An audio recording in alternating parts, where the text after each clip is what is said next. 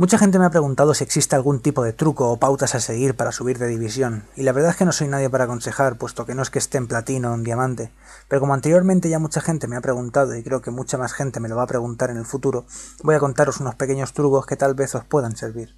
Si realmente quieres subir, lógicamente deberás seguir practicándolo y tomándotelo muy en serio. Incluso la gente de diamante en cada partida podría haber mejorado algo de ella. Piensa en qué cosas podrías mejorar y trata de mejorarlas. Deja de mirar los fallos de los demás y trata de ser muy crítico contigo. Cosas como haber gastado una habilidad de más o un prender para matar a alguien, haber fallado bastantes minions o haber descuidado tu línea, ese tipo de cosas deberías tratar de mejorarlas y pensar qué es lo que has hecho mal, aun habiendo ganado. Lo segundo es utilizar personajes con los que sea fácil carrilear partidas. En mi opinión, personajes como Fizz, Akali, Irelia, Bane, Nasus son personajes muy fuertes, capaces de hacer mucho daño en las teamfights. En general, personajes muy fuertes en late son una buena opción.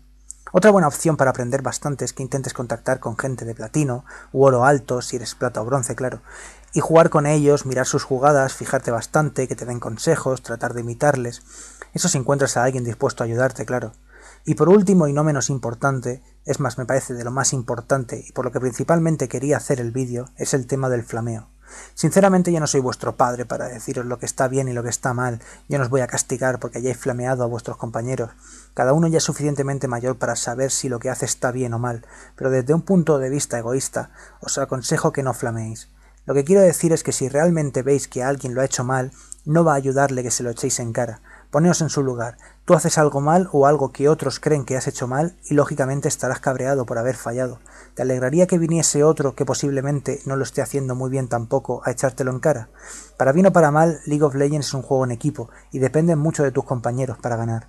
En el momento en el que tú flameas, el otro te contesta, iniciáis una pelea, las posibilidades de perder aumentan, puesto que inconscientemente una parte de tu cerebro está atenta a la discusión y no puedes jugar al 100%. Es más, es probable que por los piques intentéis quitaros el farm, os dejéis vendidos en alguna teamfight, os robéis los buffos, las kills, etc. Algo totalmente contraproducente para la victoria de tu equipo. Como he dicho antes, no te diré que está mal flamear y todas esas cosas que ya sabéis, simplemente os digo que para ganar, aunque os cabréis con ellos, gritad si queréis o desahogaros con algún amigo, pero en el momento en el que le das al enter para echarle en cara las cosas, ahí aumentan las posibilidades de perder.